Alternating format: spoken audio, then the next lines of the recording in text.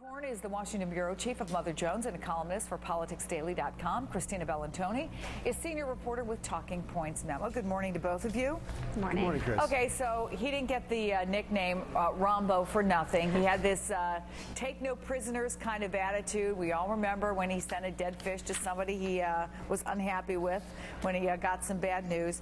I- I'm wondering, David, what do you really think, though, this means for the White House? What does this mean for the American people? Well, you know, liberals really don't like Rahm Emanuel, and they see him as the fellow who's pushed uh, Obama to negotiate more than he ought to have with the um, Republicans who are who are you know leaning towards the Tea Party. But I don't blame a horse for taking it where the rider wants it to go. Ultimately, the major strategic decisions are made by the president, and if anything, you know, Rahm Emanuel, even though he disagreed with the president in certain matters, he still carried out the president's strategy legislatively. So, um, but we're about to enter a period, I think, after the November election, where there won't be a lot of great legislative maneuvering going on. It's going to be out and out political warfare between the two sides, and the White House is going to have to go through a major readjustment in, in deciding what type of presidency Obama wants to have. Well, this is interesting, Christina, and, and I'm, I, I love that analogy. You know, that uh, the, the horse and the rider.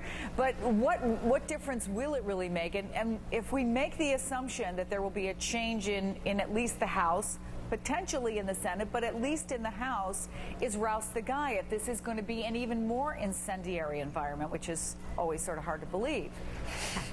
Uh, it's a great question. It's really undetermined at this point whether the House is going to turn over to the Republicans, but Rouse is known as working very well with the Senate.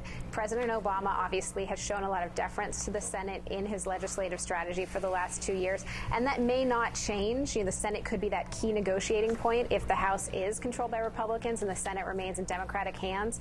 Rouse was called the 101st senator uh, back in the day when he worked for Tom Daschle because he had such good relations with everyone. He knows everyone within the halls of Congress. So that's definitely going to particularly help the White House, where Rahm was looked at as having a fairly um, tense relationship with Congress, I think is the nicest way to put that. Tense, yes. Christina Bellantoni with Talking Points, David Corn with Mother Jones. Thank you both.